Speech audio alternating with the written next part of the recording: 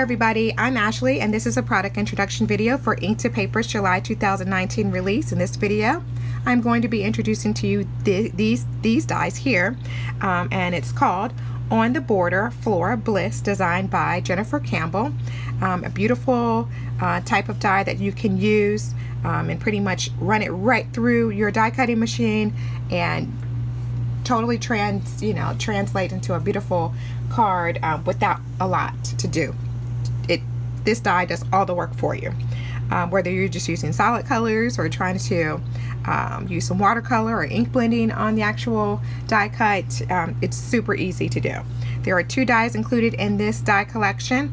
You have the full um, border type of die that includes this beautiful uh, bloom and and leaf design leaf design. And it leaves this open space here where you can uh, layer uh, basic shapes or simply just add a sentiment right here in the middle. Up to you. Um, this die also includes separately this border here. And you can see here there's just some leaf elements a big bloom and more leaf elements on this side. So you can use this as a border um, or a gatefold opening or just whatever you want to use with just this part of it here as an option. These dies retail for $34 and again looks so pretty. So I'm going to show you my card.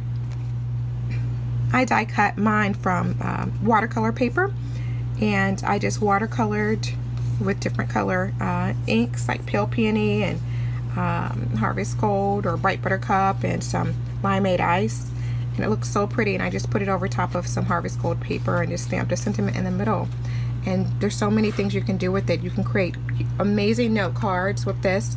Use those uh, to die for sentiments um, word dies and put them right in the middle. Make lovely note card sets. And you can just die cut these right from white cardstock and put them on colored cardstock. And you look like a you just look it just looks so beautiful. Um, if you're wondering about adhesive, I have a recommendation. I use spray adhesive since there's so many different um, small intricate pieces uh, that you want to probably get the adhesive on. So spray adhesive worked really good for me because I can just go shh, shh, shh, and just spray it and then just put it right onto my card my card front here okay? So that is an option. Um, this particular die looks good either portrait style like this or landscape okay? And it doesn't have to be this way. It could be that way this way however you want all right? So that is on the border floral flora bliss die collection. Such an amazing this is so pretty. I know I'm going to be using this a lot because it's so easy to use and you can throw a card together really easily and quickly just by adding a sentiment or some type of word die. So I hope this product introduction video was helpful for you to see a little bit more details about our new On the Border Flora Bliss Die.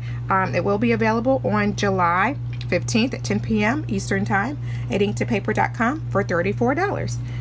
You guys have a great day. Thanks for watching. Bye-bye.